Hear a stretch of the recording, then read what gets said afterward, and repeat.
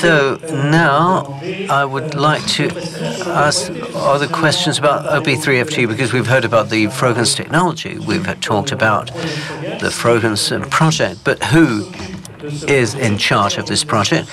What is the organization in charge? It is OP3FT. Uh, OP3FT, which is an endowment fund, and Fondation Technological Endowment Fund, and to discover in more detail what this means to be an endowment fund and one which is technological.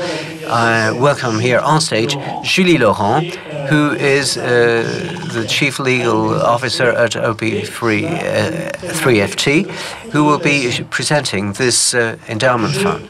Now, uh, I forgot to tell you something. I should have asked you to give Alexei a hand for his presentation. Thank you, Alexei. So after this round of applause, Julie, um, of course, will be expecting even more uh, because she's a lady. Thank you, Jean-Emmanuel. Uh, I hope I get more applause for another reason than being a lady. Now, good evening. I'm uh, Julie Laurent, the head of the uh, legal affairs at OP3FT. I joined the project some three and a half years ago. Uh, I worked. I was at the uh, Barreau de Paris before that. I'm specializing in uh, IT uh, uh, law and digital law, and my mission at OP3FT is to see to the protection of OP3FT rights. As I will tell you afterwards, OP3FT holds the um, rights to the techno technology, as you heard from Alexei. It means IT language, it means brands, patents, and so on. So it means intellectual property and intellectual property rights. So that's part of the legal team work. And the other part of the work is to see to it that the uh, development of uh, the Frogans uh, technology respects uh, the uh, rights, uh, IP rights of third parties. And to make a long story short, my mission is to, so to see to the development of all the legal documentation of OP3FT, in particular the bylaws, which I took part in, and the, the, creation of these bylaws for OP3 3 Now, uh, thank you, Julie. What people wonder is what does this acronym stand for, OP3FT? Yes, well, OP3FT means the Organization for the Promotion, Protection, and the Improvement of the Frogans Technology. So, PPP in, in French, promotion, protection, and uh, progress, if you will. Now, mm, as uh, Alexei told us earlier, the Frogans uh, project started in the early 2000s, but OP3FT was created, oh, established only later in 2012. So why is it well, in fact, yes, OP3FT was um, established uh, on the 17th of March 2012. Uh, so at the beginning of the project in 1999, uh, between this and 2012, quite a number of years, of course. And with Alexei, mm, we heard quite a lot about the, the history, but with the four objectives that we posted on the screen earlier, which are the major founding principles of the project. And in addition to this, what I could say is that right from the start, from the onset, the idea was to make this Frogans technology something free of charge, something that would be open and something accessible to all and for uh, ever. Um, so the, question we had throughout the project was what is the mm, legal structure that is best adapted or suited to um, uphold these objectives. So we did quite a lot of work on this to see uh, who would be steering the project. Because in fact, why should we? By, because by leaving the project in the hands of a business company, we might have been faced with a number of problems. The first one is uh, it could be mm, bought back like a big uh, uh, major company that decides to buy this because they decide that uh, mm, uh, services free of charge is, is not good because it doesn't pay. And so they turn it into a paying technology, and that would be a risk.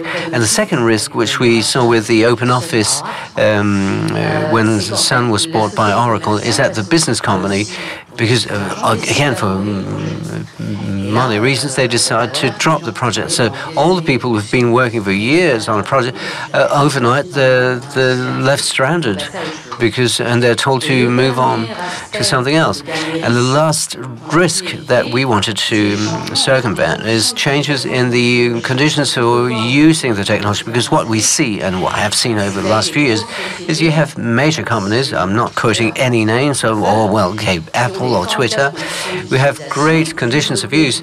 You develop an app or a project within the framework of uh, um, arrangements that are valid at time t, but at time t plus one, they change the conditions for use, and your application or your activity no longer is no longer viable because it's no longer compatible with the conditions for use.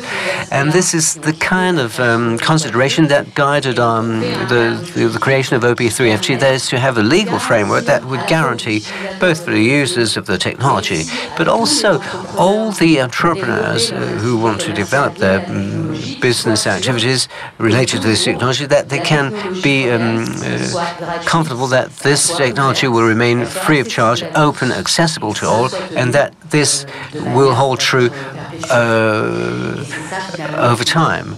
Um, so this is why it took so long. So this is why today it's a dotation, an endowment fund that holds this um, Frogans technology and develops the project. And this is the legal structure which uh, was considered as being the ideal instrument for the Frogans um, project, uh, in, adapted to, to them what they had in mind uh, when creating it. Thank you, Julie. It's very clear now. Uh, but you, you did say that there was a founder uh, for the, the project, that it was a business company. So, so what happened to this um, company after, and how did it uh, find its uh, role in the Frogans um, project? As uh, Alexei said, uh, Frogans technology is based on a number of components and on an addressing system and identifies the Frogans addresses. Now, the Frogans addresses are managed in terms of registration and uh, selling by they're handled by a business company which is the founder. Okay, so the way it works, if you uh, know about mm, domain names, it's not exactly the same, but it's a bit like it in terms of the structure. In fact, no, it's further down. Thank you. In fact, you have a um, register um, register operator. You have ICANN for that sets the legal framework, like the the regulator, like OP3FT, uh, which has a more complex role in a way. But ICANN uh, will delegate to business companies the management of the gTLD. For ICANN, uh, dot com, for instance, ICANN will delegate the operation of the dot com to a company called VeriSign and this company will handle the .com and the .net. And in part, uh, within the Frogans network, we have the same structure. They have the OP3FT, uh, which has signed a delegation agreement with the um, operator of the core registry. There, you see on the left, and uh, core registry. And the delegation agreement is like an operating license. That is, the uh, operator holds a license, an exclusive and global license to um, handle the Frogans core registry, for which they pay a license fee on a monthly basis to OP3FT, and this um, uh, operate this license fee is a percentage of the revenues generated by the um, technical and commercial operation of the Frogans core registry. That is the selling of uh, Frogans addresses, in fact. So you see the way it works. So you have a delegation contract between the um, uh, endowment fund, OP3, and uh, the uh, company, the business company. So I um, very much invite you to read uh, the, um, uh, the, the contract which is available in the English language on frogans.org. It's a very um, comprehensive uh, uh, contract, you will see not because I did it. And in fact, it's a 10 year term, the, the license, which uh, contains all the obligations of the um, Frogans Core Registry operator. Uh, which is STN1 Interactive um, today. So thank you, Julie. So this is um, this uh, diagram is uh, uh, available on this uh, site um, op3ft.org. It's quite interesting. Uh, you have the contract, you have the delegation agreement. Uh, but I'm wondering whether the people present in the uh, audience wouldn't not maybe understand what is the benefit for them to use this technology and what is the, the benefit that it should be held by the OP3FT Endowment Fund. Well, as I said in my introduction, this is also why we thought we would um, establish this OP3FT. The benefit for the users of Frogans technology is the fact that OP3FT offers four uh, major guarantees. The first one is that it is free of charge because uh, it's written into the bylaws of OP3FT. So this principle cannot be challenged, cannot be questioned. So, as I said earlier, um, the um, technology cannot be uh, bought back by a major group or business company that would decide that, in fact, this technology must be paid for. So whatever happens to OP3FT, if, even if it should, uh, if the, the company should be terminated, uh, the, the technology will remain free of charge. The second guarantee uh, which is also quite fundamental, is neutrality. What do I mean by neutrality? OP3 is an endowment fund. It's an organization which must work for the public interest or benefit, and this public benefit or general interest is um, controlled by two major mechanisms. First, by the uh, authority, uh, which is the prefect of Paris. The prefect of Paris, Paris prefect, will check that OP3FT is uh, acting for the public interest, for the general interest. Now, the second level of control is that all decisions made by the board of directors of OP3FT are submitted to public consultation for public consultation. Therefore, from the moment the board of directors makes a decision, the decision is uh, made available on our discussion list for public consultation, so anybody, you all could uh, make comments, uh, uh, remind the board of directors, for instance, that this uh, arrangement is contrary to the, um, this or that principle that is uh, provided for under the bylaws. And the third point, which is important as well, is the, the fact that this endowment fund is headed by a board of directors, in that, as per the bylaws, the directors are supposed to act by uh, and according to certain principles. the first one is that they should not uh, represent uh, private interests. They cannot represent a company, another business. So when they sit on the board of directors, they are uh, there are persons, physical persons, and the users of the Frogans technology must respect the, uh, abide by the bylaws of the um, Frogans uh, and OP3FT. And we have this uh, compliance team, a values compliance team that sees to it that all decisions made by the board of directors are indeed in compliance with the principles of OP3FT as an endowment fund. So this is the second guarantee, the, the guarantee of neutrality. And we have number three. I'll try and uh, go through this a bit quickly, uh, is stability. Uh, within OP3FT, in fact, stability um, involves three components. The first thing is that the endowment of OP3FT is not uh, confuncible. So what you see here in this um, is non-expandable. So the initial endowment of OP3FT is uh, there visible on the left-hand side, which um, corresponds to the Frogans technology. This is the uh, contribution that was made by the founder on a free of charge and irrevocable basis to OP3FT, and this endowment, uh, as I said, is irrevocable. That is, uh, whatever whatever happens, the founder can never take it back.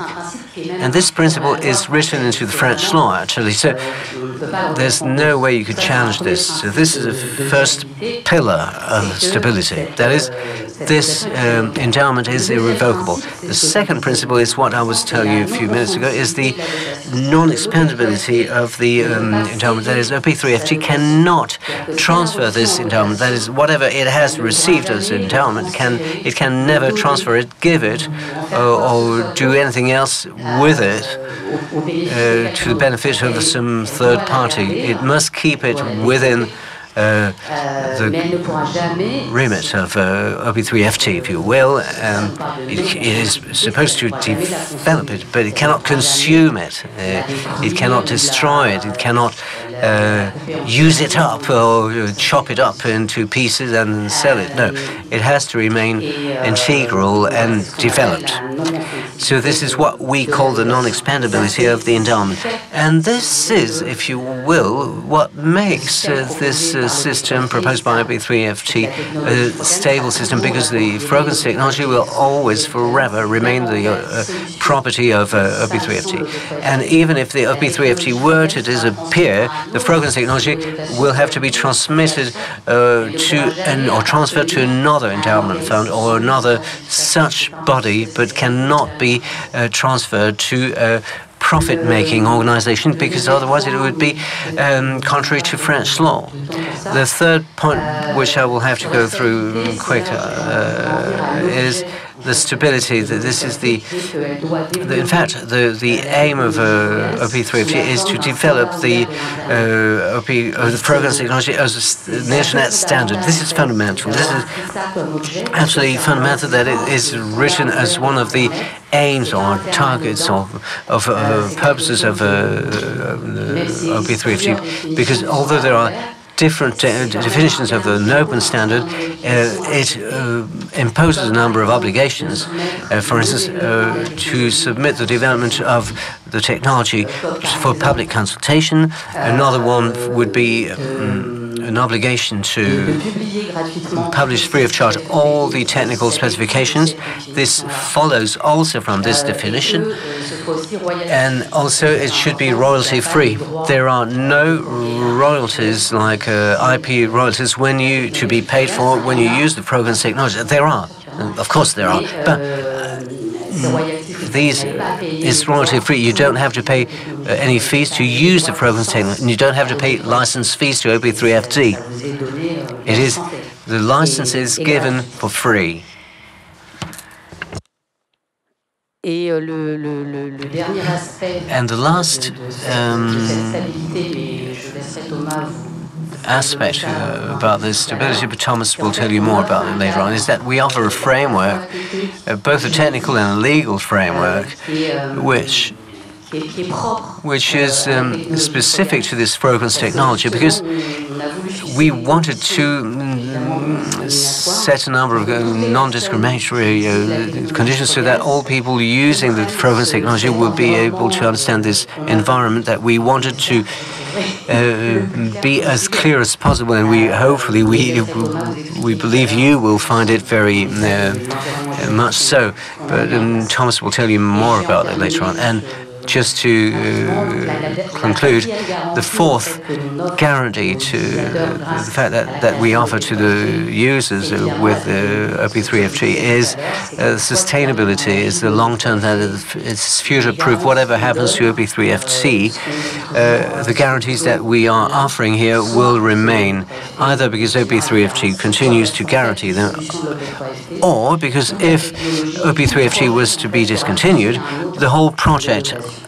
with all its principles and its operating conditions will be transferred to another endowment fund. So thank you, Julie. So OP3FT, the four, um, uh, three principles, four guarantees. So um, free of charge, neutrality, um, accessibility, and uh, sustainability. Thank you for uh, making your speech a bit shorter because we're lagging behind, but we still have to, a little time for questions. So now, question time in the audience. Any questions about OP3FT? You've um, um, depicted the legal profile of uh, this OP3FT organization, but uh, maybe uh, there are questions about this uh, uh, OP3FT. So, no, I still have the protector. It's glaring light in my eyes. No, no questions, no questions. No, I suppose it was crystal clear.